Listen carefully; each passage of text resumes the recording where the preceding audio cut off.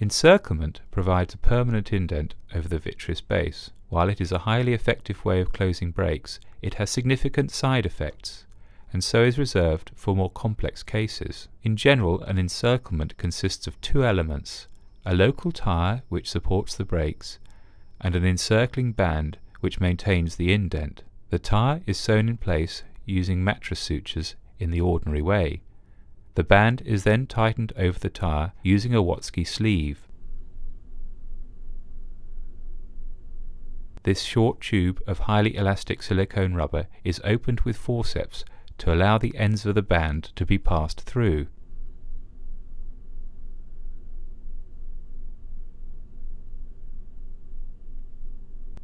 The sleeve is then grabbed firmly and pulled off the forceps.